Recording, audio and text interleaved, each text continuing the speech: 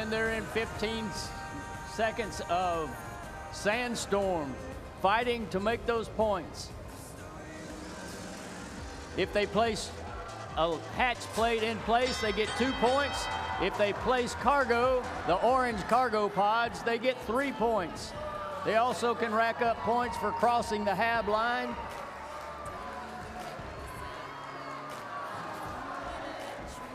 Seventeen seventy-one, dancing around on some cargo.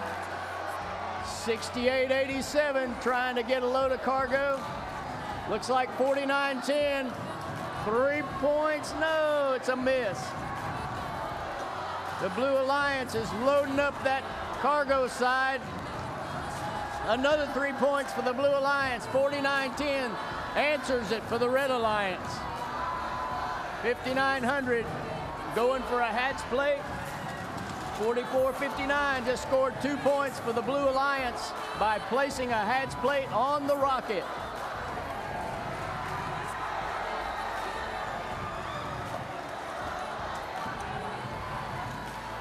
With 74 seconds remaining, the score is Blue Alliance 42, the Red Alliance 19. Here comes 52-93 with some cargo and three points for the Blue Alliance. The Red Alliance answers it. And will they double it? Yes, they do. 1771 scored 5,900 going for the 12 points, it looks like.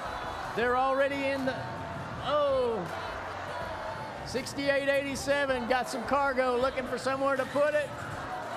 1771 scores three points for the red team. 5293 answers it for the blue team.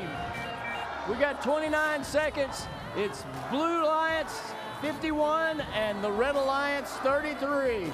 68-87 trying to climb up on that second level for six points. Will they make it?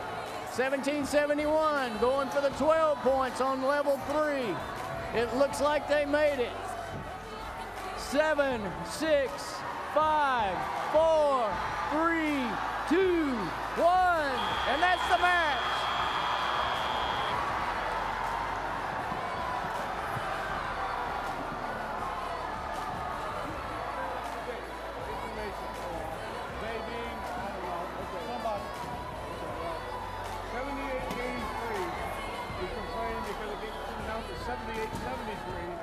And there's a razor box, apparently the name isn't getting right. Then box is actually announced them all.